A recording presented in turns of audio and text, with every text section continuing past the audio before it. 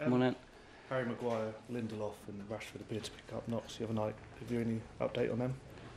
Uh, it's still still early. Hopefully we uh, we can um, get them back on the pitch on uh, tomorrow. They still they got some treatment yesterday, a little bit more treatment today, light session, and hopefully they're they're ready. Um, I can't tell you exactly now. Have have you got any update on Tuanzebe, Matic, Shaw? Yeah, they're not ready for tomorrow. That's the update. Are they expected back soon? Probably after the international break. Uh, that is always a, a risk if you pu- uh, push them back too early. But if we have the two extra weeks after international breaks, they should all be uh, be ready for them. Ollie, three away wins. What, what's clicked? What's changed? That's football. Uh, sometimes you get the the luck of the dice. Sometimes you, you don't. At the moment, we're uh, the the game on Wednesday night was decided by a, by an unbelievable strike by Marcus. Obviously, in in Partizan uh, or in Belgrade, we defended really well. Some great uh, last ditch uh, defend defending there, and. Um, Norwich, I, th- I think that was a good game, obviously. So the confidence is getting better. Uh, getting players back from injury helps. So all put together, uh, it's.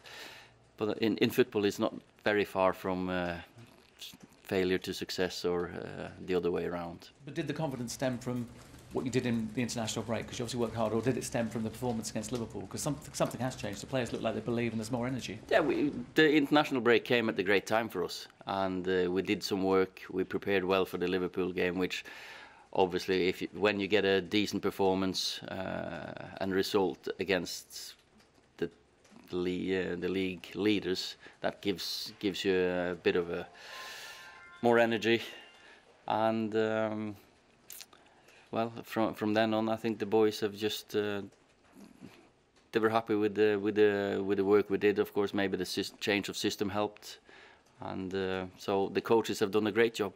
And then suddenly the games look like opportunities rather than banana skins, don't they? You know, what's coming yeah, but that's I'm I'm that type anyway. Every every uh, new game is an opportunity to show what you can do, and that's part of being here. That you, because I was uh, I didn't uh, play every game, so every every game I played for this club wasn't a, a chance for me to show the manager that I should be playing the next one. So uh, hopefully that's. That's what these boys feel like as well now because we're getting players back so we, we don't just have the 11 12 13 fit ones Ollie, it's just one defeat in your last eight games. Is consistency also what you've lacked this season? Because at times it's been fine margins, hasn't it?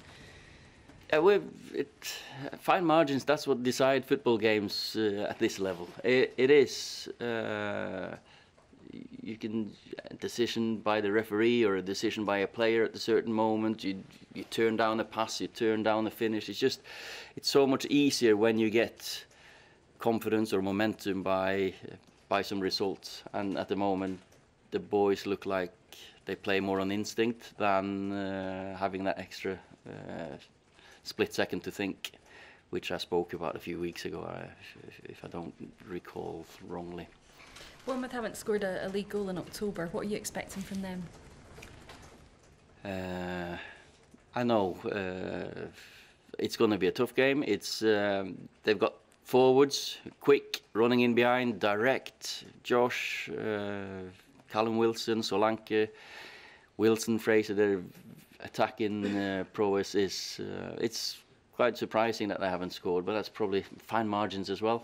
And uh, they've not conceded loads of goals, so hopefully we can score and uh, get the first goal because they are also very dangerous on set uh, set plays. Well, talking of goal scorers, obviously Rashford got a cracker in the week. You've spoken before about maybe him getting more scruffy goals, being Yeah. more of a, a, a nine, but he scores goals like that. Has, has anything changed in terms of he's a wide player, he's a number nine? Well, I think since uh, Anthony's come back, uh, Marcus uh, flourished as well, as well, blossomed. He is probably happier facing goal, uh, being direct, uh, driving at people, taking players on, instead of being that call it target man, the the one with back to goal.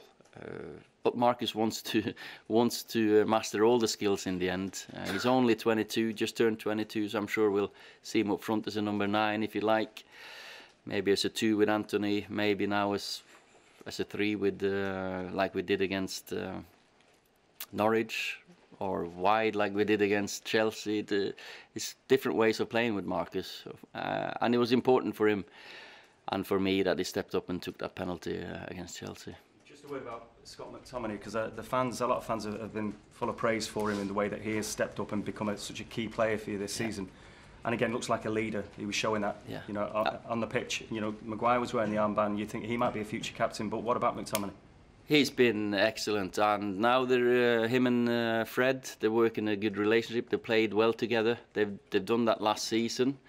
Uh, you know, PSG, Arsenal. There was quite a few games there they played together when we had some injuries, and now as well. Uh, they're working as a pair. But Scotty has been excellent. He's he's a leader, as you say. He's a Man United boy. He's gone through the ranks. You can see he's been a striker with the goal he scored against uh, Norwich. You can that's uh, on the half turn, but he's developing into um, a, a very good midfielder. Ola, um, around a course of a season is done now. How would you like to sum it all up? Is it like you expected, or Uh, it's uh, it's hard to uh, evaluate after just ten games and some some cup games, but uh, it's uh, as we've said here, some fine margins. I think we've played really well at times. We've uh, developed a team uh, spirit, uh, an identity, more of in- intensity, aggression in the team. Suffered a bit from injuries.